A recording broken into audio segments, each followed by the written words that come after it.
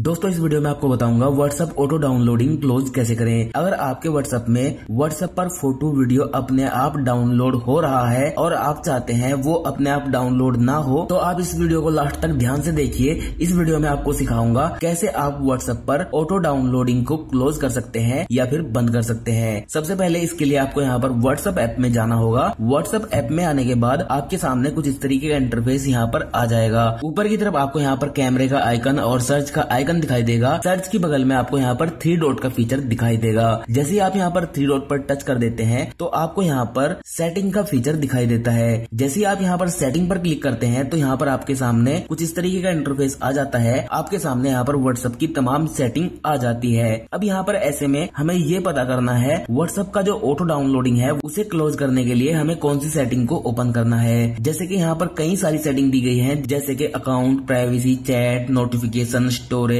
storage and data app language help invite a friend अब यहाँ पर हमें सेम उसी सेटिंग में जाना है जिससे हम व्हाट्सएप ऐप में ऑटो डाउनलोडिंग को क्लोज कर सके। तो उसके लिए हमें यहाँ पर एक सेटिंग दी गई है स्टोरेज एंड डाटा सिंपल आपको यहाँ पर स्टोरेज एंड डाटा पर टच करना है। अब यहाँ पर आपके सामने कुछ इस तरीके का इंटरफेस आ जाएगा। आपको यहाँ पर सबसे ऊपर मैनेज स्टोरेज का फीचर मिल जाएगा और यहाँ पर नेटवर्क यूसेज और नीचे यहाँ पर आपको मीडिया ऑटो डाउनलोडिंग का फीचर मिल जाएगा। यहाँ से आप ऑटो डाउनलोडिंग को बंद कर सकते हैं। लेकिन ऑटो डाउनलोडिंग भी यहाँ पर तीन तरह के हैं। जैसे कि यहाँ पर आप देख सकते हैं विन यूसिंग मोबाइल डाटा अगर आप अपने मोबाइल के डाटा से ऑटो डाउनलोडिंग बंद करना चाहते हैं तो ये सेटिंग दी गई है। और अगर आप वाईफाई के डाटा से ऑटो डाउनलोडिंग क्लोज करना चाहते हैं तो यहाँ से आप उसे कर सकते हैं। और अगर आप रोमिंग में ऑटो डाउनलोडिंग को बंद करना चाहते हैं तो वो सेटिंग आपको यहाँ पर दी गई है। अब यहाँ पर आप जैसे ही विन यूसिंग मोबाइल डाटा पर टच करेंगे तो आप यहाँ पर देखेंगे, आपके सामने जो ये पॉपअप आएगा, इसमें चार ऑप्शन मिल जाएँगे। जैसे कि फ़ोटो ऑडियो वीडियो आप चाहते हैं व्हाट्सएप पर जब आपको कोई फ़ोटो भेजे तो वो ऑटोमेटिकली डाउनलोड ना हो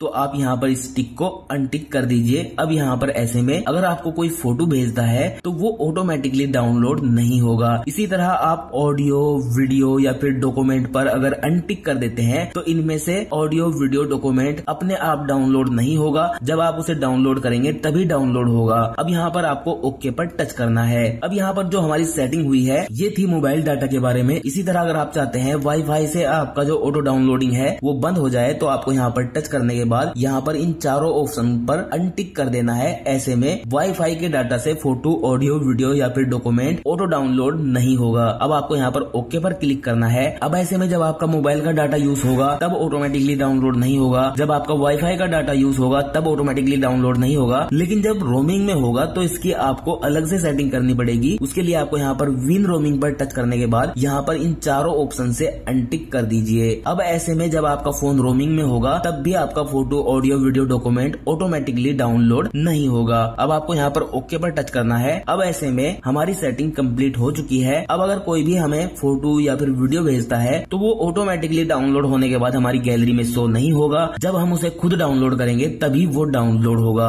उम्मीद है आपको वीडियो पसंद आया होगा। अगर आपको वीडियो पसंद आया है तो वीडियो को जल्दी से लाइक कर दीजिए। अपने सभी दोस्तों में शेयर कर दीजिए और हमारे चैनल टेक्निकल दिलसाद को सब्सक्राइब करने के बाद घंटी के आइकन को दबा दीजिए। हमारी यह वीडियो देखने के लिए आपका तहे दिल से शुक्रिया।